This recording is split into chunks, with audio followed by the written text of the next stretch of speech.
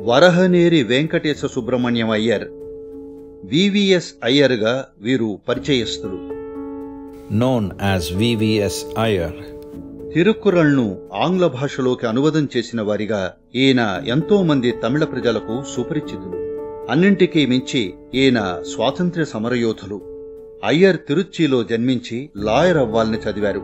బారిస్టర్గా శిక్షణ పొందడానికి ఆయన ఇంగ్లండ్ వెళ్ళారు అక్కడ వీర్ సావర్కర్ను కలిశారు. ఆ సమావేశం అతని జీవితాన్నే మార్చేసింది. వారిద్దరూ కలిసి భారతీయ స్వాతంత్ర తిరుగుబాటు కార్యకలాపాల కోసం ఇంగ్లాండ్లో ఒక స్థావరాన్ని స్థాపించారు. పంతొమ్మిది వందల పదిలో సావర్కర్ను దేశద్రోహ నేరం కింద అరెస్టు చేసినప్పుడు అయ్యర్ తనను కూడా అరెస్టు చేస్తారని ఊహించి తప్పించుకోవడానికి తన చదువును వదిలేసి ప్యారిస్ వెళ్ళిపోయారు అక్కడి నుండి ఇప్పుడు పుదుచ్చేరిగా పిలువబడే పాండిచ్చేరిలోని ఫ్రెంచ్ కాలనీకి ఓడ ద్వారా చేరుకున్నారు. ఆ తర్వాతి పదేళ్ళు అక్కడే అజ్ఞాతంలో గడిపారు.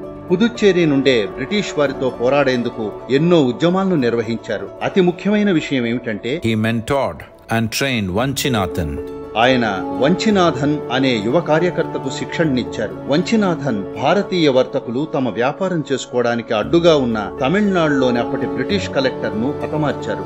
అయ్యర్ను మొదటి ప్రపంచ యుద్ధం తర్వాత అరెస్ట్ చేసి ఇప్పుడు చెన్నైగా పిలువబడే మద్రాసులో తొమ్మిది నెలలు జైల్లో ఉంచారు. జైల్లో ఉన్నప్పుడు ఆయన రచనల్లో ఒకటిగా ప్రఖ్యాతిగాంచిన ఏ స్టడీ ఆఫ్ కంబరామాయణాన్ని పూర్తి చేశారు. దురదృష్టవశాత్తు వివిఎస్ అయ్యర్ స్వతంత్ర భారతావన్ని చూడలేకపోయారు. పంతొమ్మిది వందల ఇరవై ఐదులో ఆయన పాపనాశనం జలపాతంలో మునిగి చనిపోయారు. కాని ఆయన స్ఫూర్తినందించి మార్గదర్శకం చేసిన ఎంతో మంది ద్వారా ఆయన విప్లవ పరంపర కొనసాగింది. వివిఎస్ అయ్యర్ను ఆయన పోషించిన పాత్రను తమిళ ప్రజలు తమ మనసుల్లో హృదయాల్లో ముద్రించుకోవాలి. ఆయన్ని స్ఫూర్తిగా తీసుకుని తమిళ యువత దేశ శ్రేయస్సు కోసం దేశ నిర్మాణానికి తోడ్పడాలి. For the national well being, building of the nation. అన్నింటికీ మించి ఆయనకు ఆయనలాంటి వారికి మనం తెలిపే కృతజ్ఞత మనం ఎవరు అన్నదాన్ని ప్రతిబింబిస్తుంది